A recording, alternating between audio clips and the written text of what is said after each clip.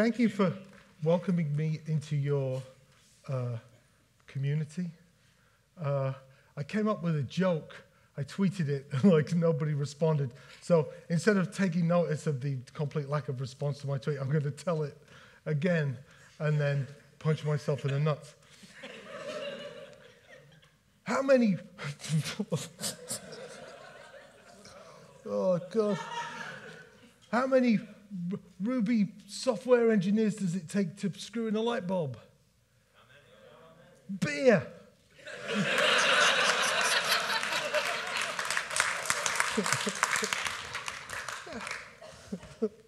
All right, I'm pleased I did that then. So, uh, I do a thing called Welcome to the Music Business, You're Fucked. Um, uh, I, I, don't know if you saw my little movie up at the top there. I've been in a bunch of bands Public Image Limited, Killing Joke Ministry, Nine Inch Nails, Pigface. I have a label. I've been to China. I made a documentary. I've just completed a successful Kickstarter for my third book, which is called Band Smart. It didn't start the clock. You see, I could have been such a dick. It seems like it seems like two hours, but I've still got 30 minutes on the clock.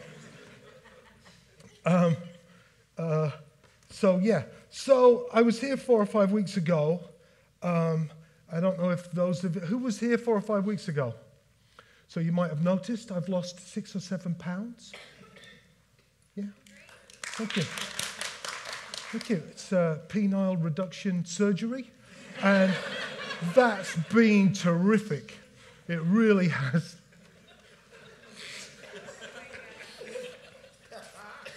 But anyway, I thought, what can I do? What can I reach out? What can I talk about that will unite everybody, right? I came up with this the top five tips what to do when one of your songs is used in the opening ceremony of the Olympics, as, as one of mine was uh, four weeks ago. I mean, who of us here, hands up, I mean, who hasn't had a song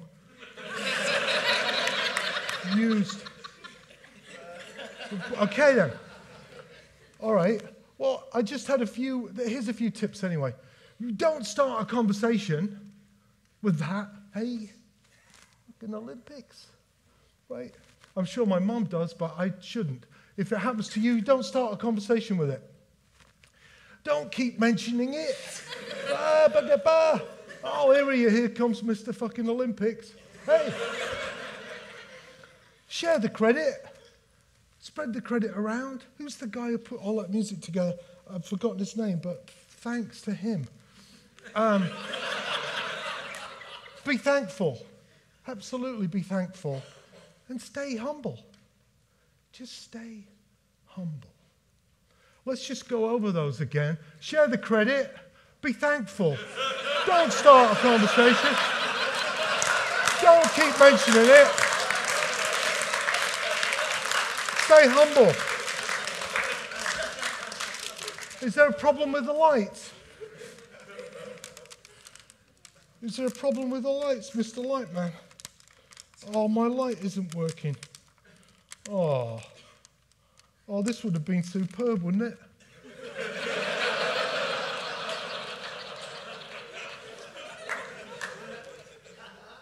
so there you go. Hopefully, you can put that to use.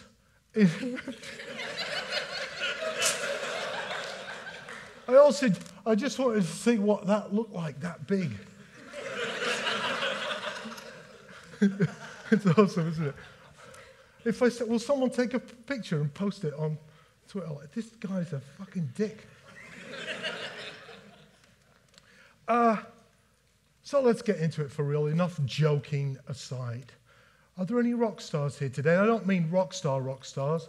I mean programming Ruby, UX. See, you've got the fucking lingo down. SAS.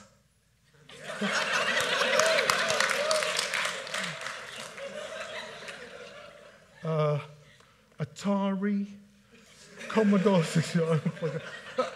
Are there any rock stars here today?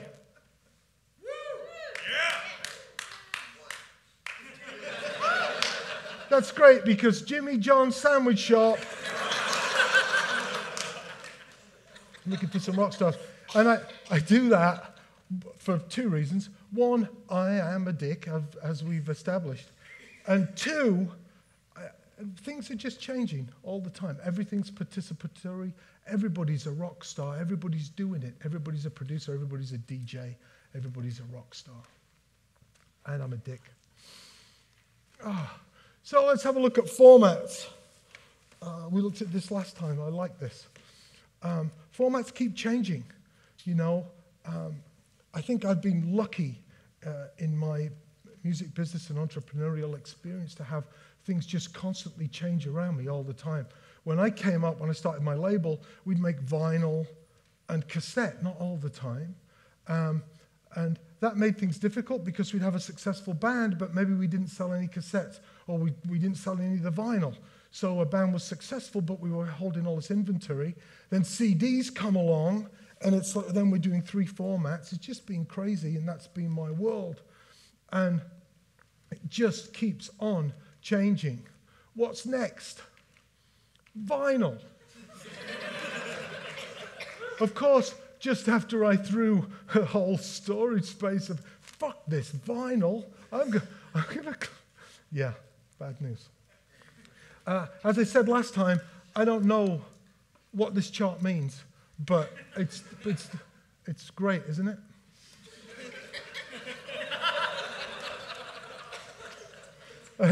I saw Ash tweeted last night, only in Madison, what was it, a guy? A guy rode by us playing a ukulele on his bike. So Yeah. He's just like riding down the. It was a good job I wasn't out with you last night. I would have just punched him in the face. Bing-a-ding, biddle-bing-bing, bobbity-bong-bong, boom.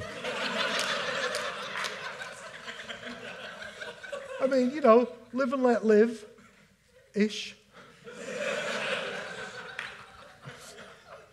I was trying to find a picture of a guy playing Madden. I could, yeah. So let's have a look at my theory about what happens with formats and objects in general. Things are weird and they're new. They become adopted and iconic. Then they become lame and discarded. And after a variable amount of time, they become a hip memory prompt and they become an object again. Right? That's what's happening with vinyl. Uh, this is a coffee table at the hotel I was at in Memphis a while ago. Now people are going to be like butchering, buying up coffee tables to get the vinyl back. That's recycling right there. Punk is now a beer. Well, yeah, what's up with that? What's next? Cassette tapes. Or not. I love cassette tapes. And now I just found this online yesterday. It's a, a cassette tape USB drive in this huge fold out thing where you have to keep changing pens and mess things up and scribble things out. But it's 29 fucking dollars. just so it's a fucking USB drive, just so people go, oh, cassettes.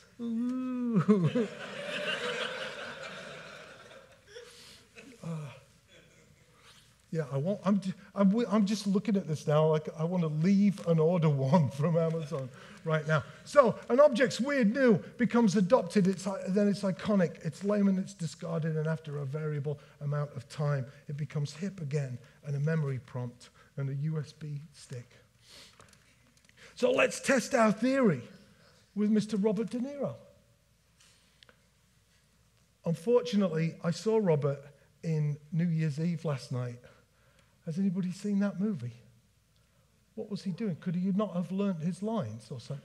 I mean, bad news. So at first, he was weird, new, mohawk, taxi driver. He becomes adopted, iconic. Then he becomes lame and discarded. Analyze this. And this is where, this was a music business class, I'd question the, uh, the value of his management uh, team when they persuaded him to do analyze that. But no, he's not lame and discarded. He starts the Tribeca Film Festival, injects the very damaged New York City with a new energy after 9 11. and then Tribeca becomes a car.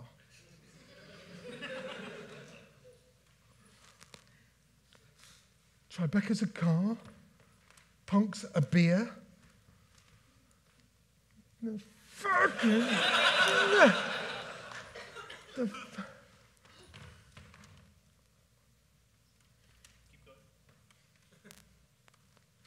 Plug me in, baby. What about recording studios? New York, LA. Does anybody want to work at the Hit Factory?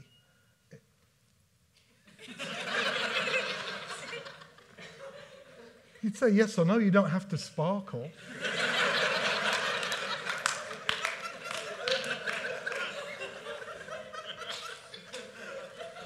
well, if you do want to work at the Hit Factory, you've got a bit of a problem on your hands because they've turned it into penthouses.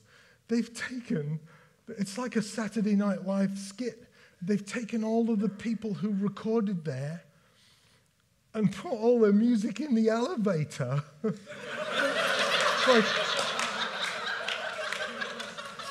but, and, but there's only one penthouse left, so, you know, hurry. Uh, it's not about the square footage or the faucets. It's like, yeah, Lou Reed did uh, fucking heroin right there. okay. it's an object, it's weird, it's new, it becomes adopted and iconic. And after a valuable amount of time, it becomes a memory prompt. Abbey Road. Does anybody go to Abbey Road Studios to record because of the equipment? It's to get an erection while you're using the microphone that Paul McCartney sang into. Is that his spit still? Right. Or to try and avoid the microphones that Ringo Starr sang into.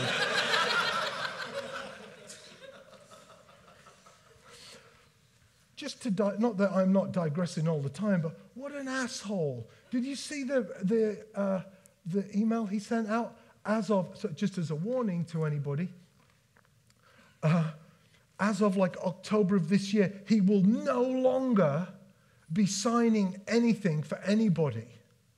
So do not send him fan mail. I thought, you fucking asshole. Just put, bury it in the back garden. You know, don't just tell people they can't write to you. Have some intern scribble bullshit on, a, on an envelope. You know, why would you do that? Uh, anyway, so you fuck Ringo Starr is the side message of this. So, what's important really with all of this? It turns out, just vibe. And we're back to a car. well, how weird. I just looked up then, it's just Apple logos. Can't see anybody, it's just fucking Apple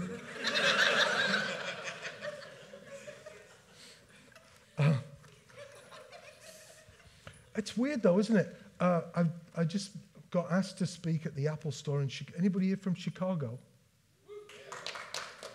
You don't have to say yes or no, just sparkle. Sparkle with your phones. Pauline. Uh, yeah, and I've done a lot of shit in my life, but I'm kind of, it's like the Carnegie Hall, Apple Store, Michigan Avenue. It's like, oh shit, it's just a fucking shop. It's just a shop selling electronics. And I'm going to be like, hey, okay, make sure you get the Apple logo behind me. They're going to whittle my 120 slide slideshow down. Here's the four slides that we've cleared for you. Go get them, Marty. All right, let's have a look at some strategies. Strategy number one would be to have a fucking strategy. but yeah, you could laugh, but people in bands don't. People in bands don't. Hey, where are you going? We're going on the road. Where? Uh, Hollywood. Do you have a map? Fuck off. map. Number two, get the fuck out of bed.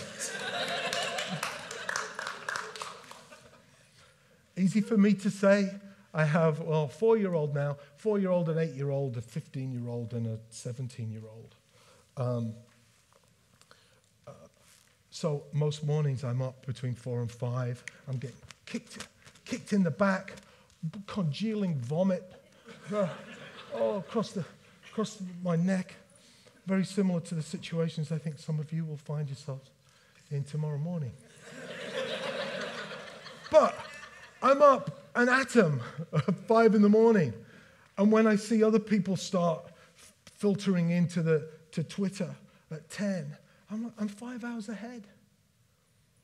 At the end of a week, I'm 35 hours ahead. At the end of a month, I'm 140 hours ahead. Not that it's a competition. We're all in this swirling ball of shit together, right? but we kind of are in a little bit of competition. In fact, we're all in fucking competition and stab somebody in the eye with a pencil. That's another strategy. Practice for catastrophe. Oh, I don't want to spend too much time on this, but uh, I was at the rehearsal hotel in Norway. They have, they just have bags of money over there uh, because of the oil and whatever else they've got going on. And um, uh, so I'm touring this, this rehearsal hotel, they called it, and it was gorgeous. Uh, there was metal plate halfway up the walls, carpeting, a nice PA in every room, uh, flown hanging from the ceiling, monitors, bless you, that worked, a piano, not that anybody uses pianos anymore, a keyboard stand, bass rig, two guitar rigs. It was just gorgeous. The elevators worked, there was air conditioning. I'm like, this is fantastic. But is that what we need? Is that what we need to use to get better? If I owned that rehearsal space, I'd be behind the two way mirror with a series of buttons. And once the guitarist started to get into it and the vocalist started to get into it, I'd press one of those buttons and electrocute the guitarist.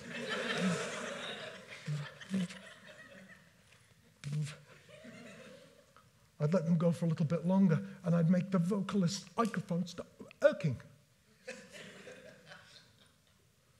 I press another button and electrocute the guitarist again. I do, I don't know what I do to the drummer. Something. I'd turn the PA on and off. I'd have a hole open up in the middle of the fucking. The middle. Ah! I'd have piss raining from the ceiling. the fuck? Because that's every show I've ever done.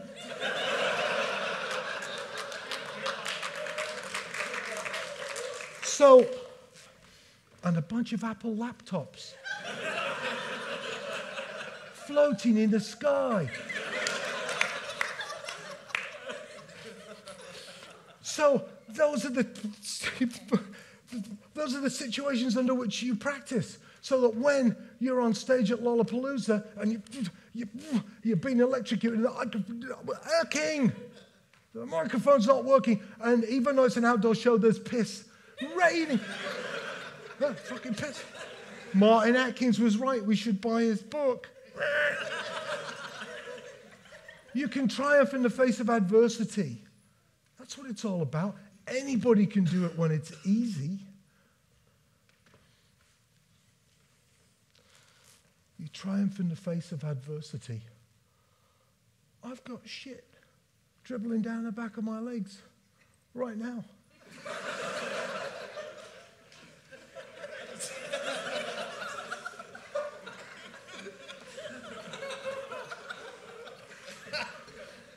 but if I hadn't told you, you wouldn't have known because I'm a fucking professional.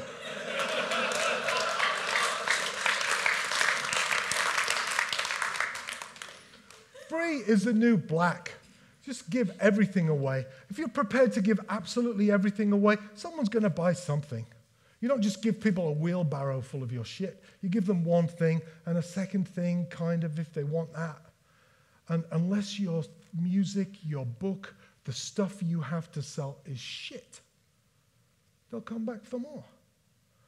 If the stuff you're dealing, drugs, programming, same thing. Whatever, if your shit stinks, then they're not coming back. I think that's kind of correct, right? Just do good stuff, give it away, and people will come back for more. It's not a problem if 20,000 people illegally download your music, it's a problem if they don't. Monty Python gave all of their shit away. Their sales went up 23,000%. And there's, I don't know if that works actually. it's a free code for my second book, Welcome to the Music Business You're Fucked. We'll post it later. Did you get it? Okay. Fucked by somebody else's business plan masquerading as help. I've seen so much of this in the music business. Home taping is killing music, and it's illegal. Well, no, it didn't kill music.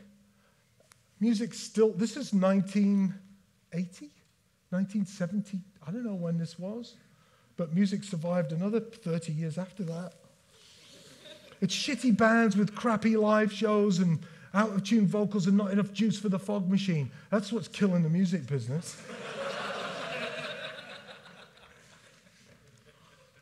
Home sewing is killing fashion.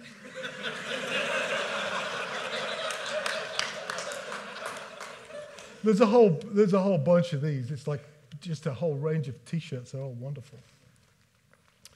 Uh, use your social media with Japanese table manners. It's rude in Japan to pour your own drink, so you sit and wait for somebody else to pour yours. And that's social media, isn't it?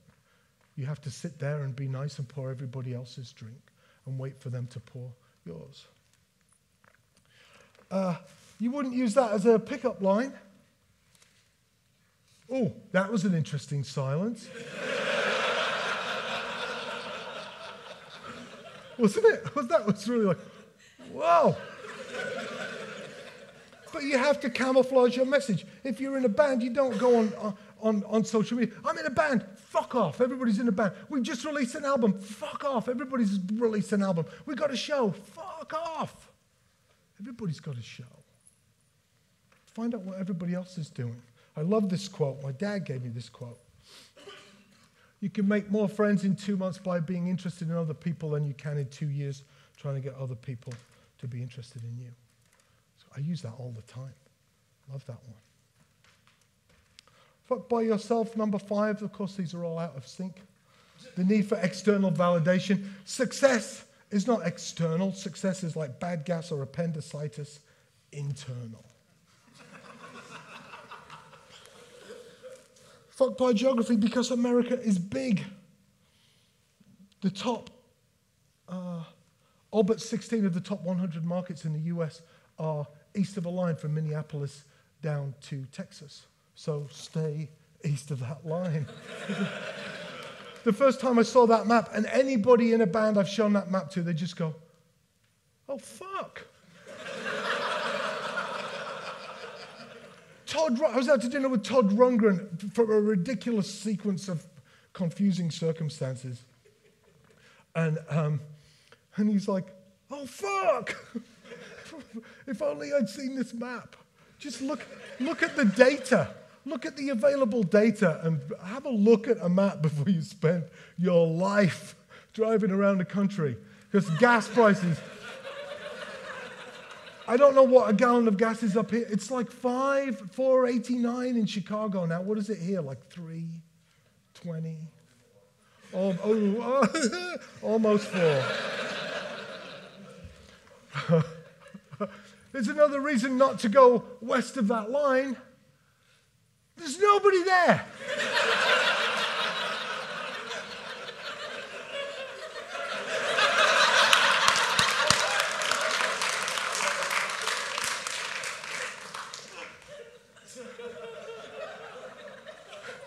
I was, I was trapped, jet lagged in a hotel room in Norway, and I've, I've got like 90 maps, like uh, incidences of pig swine fever. you know, oh, yeah, that's one of the good ones. Fuck by yourself pursuing technical ability. Whatever, whatever field you want to get into, type that into YouTube, followed by child prodigy and you'll see some little nine year old kid smoke your ass. Fuck by allowing yourself to think that anybody gives a shit. They don't. Nobody gives a shit about what's important to you more than you, really. Fuck by yourself a lack of imagination. One of my students uh, gave me this idea. Uh, I went to class uh, uh, at Madison Media Institute. I teach here in town like Tuesday, Wednesday, Thursday sometimes. And uh, he's sitting there with a defrosting, like uh, home jelly pot on his desk. I'm like, what's that? He's like, oh, I make my own organic blackberry jam. Wow. Get me some, and I'll give you an A. Because that's how I roll. Grades for jam scandal hits Madison Media Institute.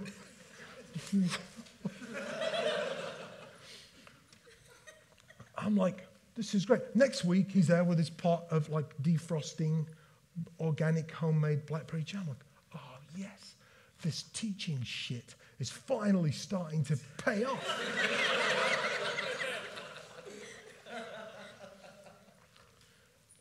I reach for the pot of jam. He reaches behind him, pulls out a demo. Fuck.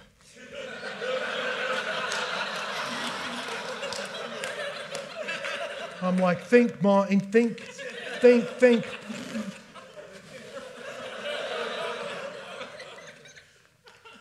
I take the demo. I'm thinking, this is fine. I've got the jam. I'll throw that out the window on the drive back to Chicago. Problem solved. Because you know, when you give somebody a demo, it's not a gift, it's a fucking imposition. When I listen to somebody else's music, which I don't have any time anyway, least of all to listen to someone else's music that doesn't make sense because I don't know it, and then my brain starts working. Well, if they lose the first four, oh, or move that bit there, it's a fucking nightmare.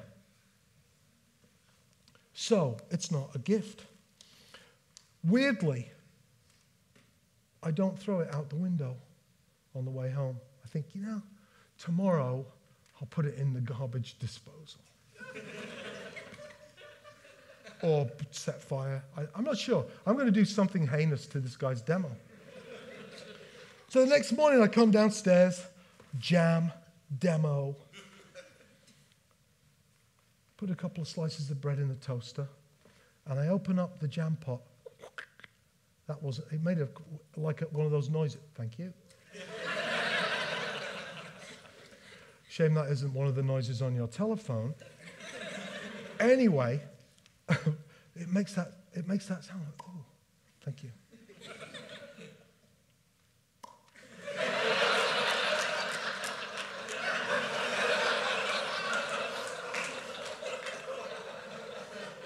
That was filthy.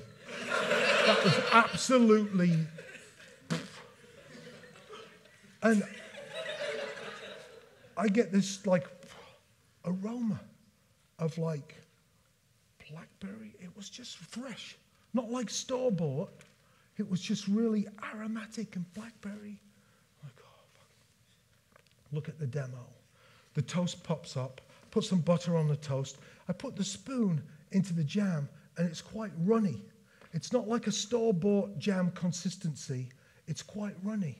And as I spread the jam on the toast, I know that I'm fucked. I'm to have to listen to his fucking demo.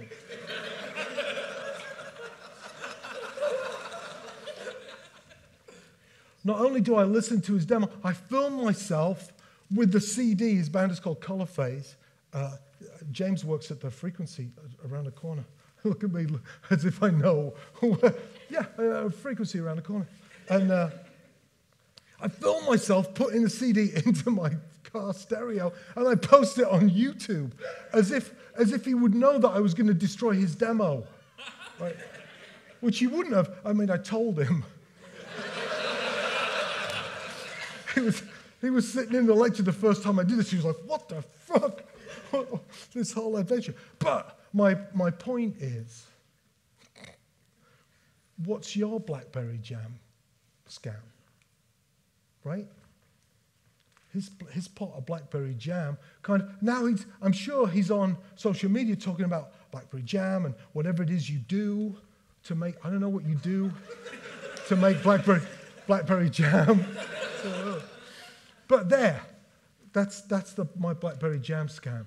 Small is the new huge. Why is it bands always play the largest venue instead of the smallest? Just play the smallest. The worst thing that can happen is you sell it out and play another one. Aim low, get high. Yeah. I like that one too. Can I, can I go an extra five minutes? Yeah. So, I like aim low, get high. It, it's not a bad thing to have ambition. You should have ambition. You should be looking to the clouds of Apple logos in the sky. But if you do, if you are looking up there, you'll miss your next step, which is there, right? And I was lucky enough to be at the Great Wall of China, and uh, it's a great analogy uh, for this. On the one hand, you can stand to a distance uh, amazed by one of the seven wonders of the world. fuck, fuck. How did they do it? Wow. I'm standing there and I got hungry because there's a Kentucky Fried Chicken at the Great Wall of China. I went down and I said to that guy, This is wrong on so many. Yeah, extra crispy. but you stand off to a distance and you look at the Great Wall of China, it's just a fucking pile of bricks. It's just a pile of bricks. You can start your own pile of bricks. Six weeks from now, you'll have a shitty, meaningless, not very focused pile of bricks. Six months from now, you'll have Great Wall of China 2 going on. And your friends will come over and go, What the fuck are you doing? And you can proudly say, Great Wall of China 2, the squeak wall. and some of your friends will dismiss you as crazy, and some of them will be like, Hey, this is insane. How can we help? I like to help people with things that shouldn't be happening that are kind of insane. Making those things happen is fueling as fuck. When everything makes sense on a business plan, fantastic, fuck off. Go, that looks like it's going to happen. You made a really great plan there, bye bye. I'm interested in the stuff that this is impossible. 3D printer. If those guys went to engineering school, they would have been taught that it was impossible to make a 3D printer. Boom. So, some of my little phrases free is the new black, aim low, get high uh, get difficult sometimes. And when I saw one of them printed in a major publication, it made me cry. Sometimes I feel like I'm just banging my head against a wall.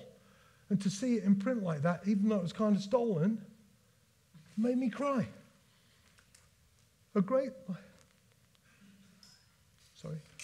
A great life isn't about great, huge things. It's about small things that make a big difference. And when I saw that in the IKEA catalogue,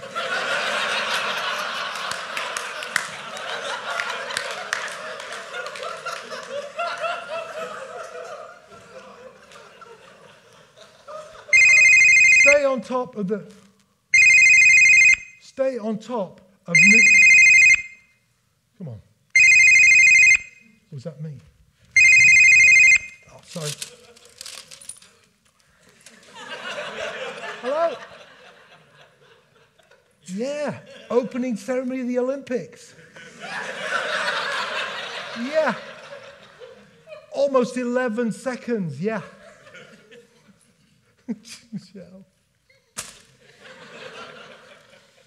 Uh, I heard a politician say, not a politician, a political strategist said this on, I don't know, ORT, is that NPR? Do they, uh, is WRT the, MP, I don't know, whatever, NPR radio, said it doesn't matter what's happening with this or that, uh, momentum trumps everything. And I think that's true. You can try and buy momentum with money, get people to help you, take out ads and do stuff, and pretty soon you won't have any money or any momentum. If you have momentum, you could get whatever you need once you have momentum. Always be nice to everyone. Do the opposite. A great example of do the opposite, some of my students struggle with this. You've got Avatar, $500 million, new technology, and the artist. I don't know what the budget was for the artist. Black and white. What's the budget for microphones? No budget for microphones. It's fucking silent. Fuck off. Brilliant. Go green. Do I care about your band? No. Do I care about the planet? Yes. Only safety comes from risk. The riskiest thing you can do in this world is to be safe. Yeah, it's a font, it's a fucking font nightmare, isn't it? It's a, I've had people come up to me afterwards, I can help you. Really? With which one of my problems? Fonts.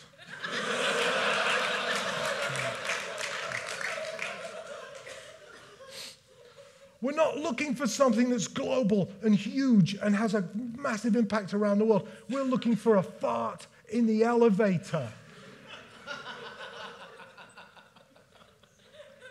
well, we are. Not at the Sheraton, fuckos. you create an action that works and Vidal Sassoon the fuck out of it. Rinse, repeat, rinse, repeat, rinse, repeat. Now, never mind the fonts I've changed slide styles halfway through. Fuck. Punk rock. It's a mashup. Make cool shit. Because there's two types of shit there's cool shit and not cool shit. You just have to make cool shit. It's my friend Moldover. He made an album with the song titles printed in electronic circuitry, uh, and it's a, a light sensitive theremin built into his album. I talked to you about these last time I was here. Oh, where did they go? Uh, oh, yeah. Smell my seven inch.